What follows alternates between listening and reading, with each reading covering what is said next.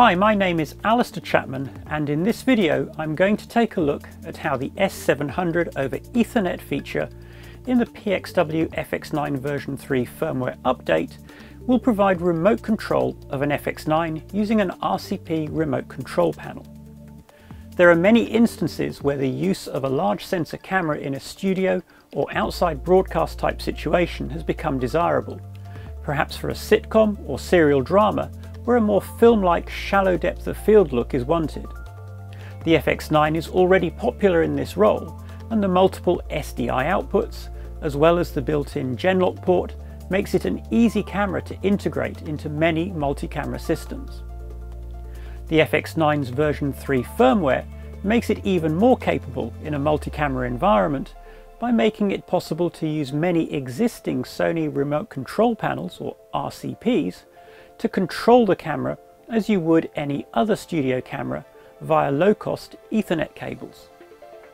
There are several RCPs that are currently able to work with the FX9, including the popular RCP 1500, 3100 and 3500 models. The FX9 must be fitted with the XDCA FX9 as this provides the necessary Ethernet port and in addition an Ethernet switch or hub that can provide power over Ethernet, or PoE, must also be used to power the RCP. Once everything is connected and configured correctly, the RCP can send a tally light signal to the FX9 as well as controlling the camera's key settings. The settings that can be controlled include for exposure, the gain and the ND filter, and if using a Sony E-mount lens, the lens iris or auto iris. For colour, you can control the white balance, including auto tracing white balance, the red and blue gain, as well as the red, master and blue black levels. Additionally, you can make changes to the camera's detail settings, white and black limits, as well as making hue and saturation changes via the multi-matrix. So let's take a look at how to set it up.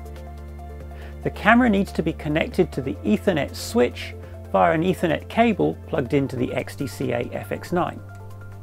Then a port on the switch that provides power over Ethernet is connected to the Ethernet port on the RCP panel.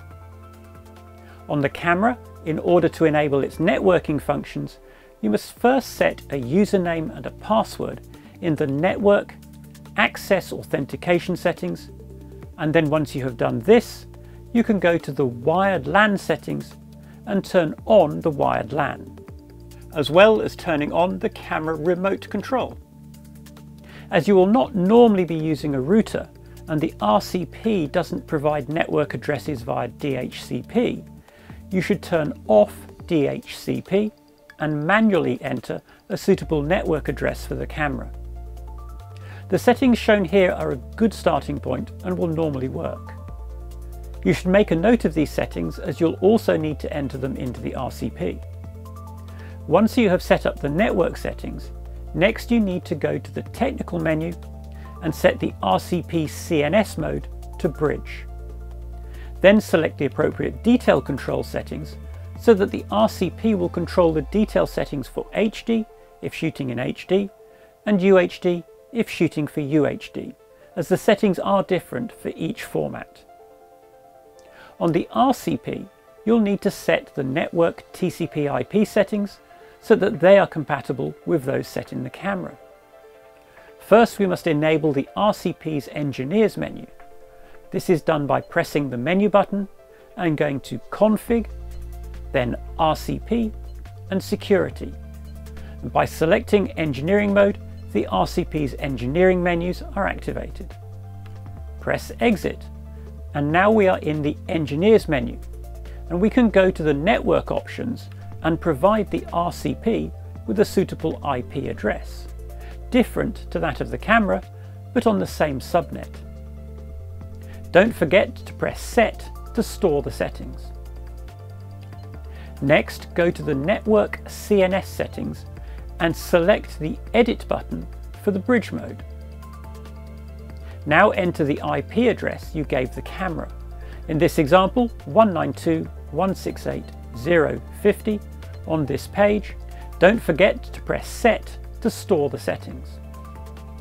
Exit this page and now you can select and enable bridge mode. Once selected, press set. You should now be able to control the FX9 as you would almost any other studio camera from the RCP panel. While controlling the camera using the S700 protocols over Ethernet, it's also possible to use a LANC controller to provide additional remote control functions such as zoom and focus for Sony E-mount power zoom lenses.